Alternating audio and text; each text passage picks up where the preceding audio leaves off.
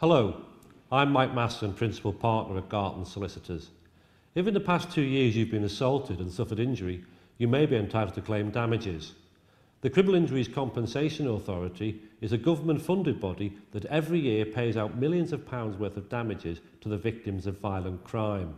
Here at Gartons, we're experts at dealing with the CICA, and we can ensure that you get the damages and compensation to which you are entitled.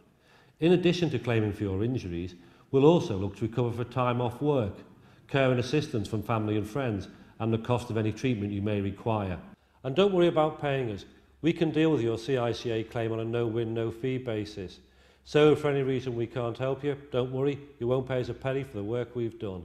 So for risk-free advice on claiming from the CICA, contact the experts.